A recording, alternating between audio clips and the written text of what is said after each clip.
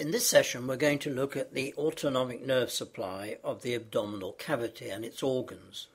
The only somatic supply is to the parietal peritoneum, but the visceral peritoneum and all the internal organs within the abdomen are supplied by sympathetics for vasoconstriction and for decreasing the peristaltic activity and closing the sphincters within the gastrointestinal tract.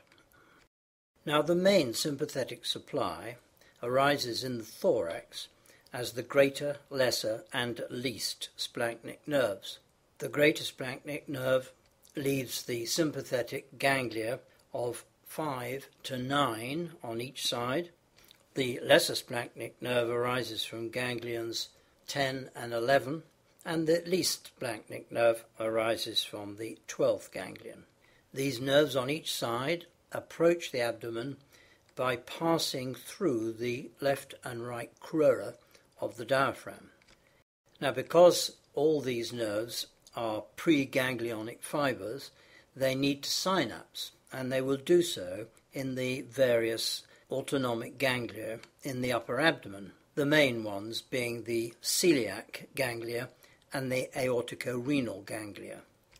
Some of these postganglionic fibers then reach the renal plexus and are distributed to the kidneys, but the majority go on to blood vessels to supply the intestinal tract.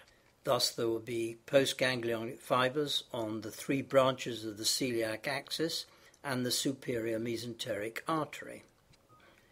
The majority of these nerves will be used up on the vessels that we've mentioned but some will continue down the abdomen on the anterior surface of the aorta and are distributed on the gonadal and the inferior mesenteric arteries.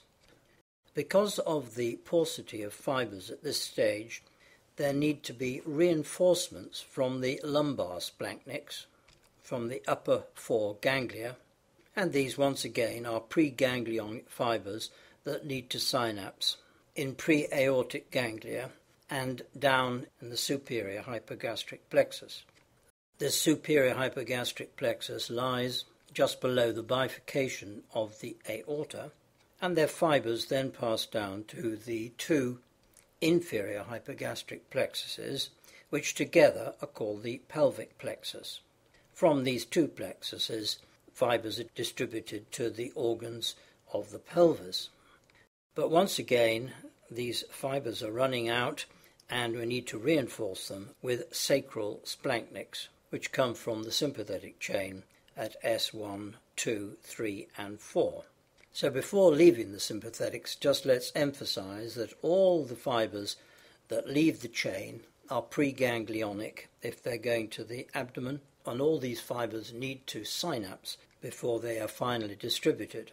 The only exception is the branch of the greater splanchnic nerve, which goes to the adrenal gland, which is a preganglionic fiber, and the adrenal gland itself is regarded as the postganglionic fiber. Now let's turn our attention to the parasympathetic supply. The supply for the upper abdomen, which includes the foregut and the midgut, is from the vagus nerves, the 10th cranial nerves. They enter the abdomen through the esophageal opening with the left vagus lying on the anterior surface of the esophagus and the right one on its posterior surface. The rule with the parasympathetics is that the fibers are preganglionic until they reach the end organ where there is a small ganglion in which they synapse. These parasympathetic fibers enter the celiac plexus and then are distributed to the three branches of the celiac axis and the superior mesenteric artery and to the kidneys. As there are no parasympathetics to the gonads, we don't encounter them on the gonadal arteries.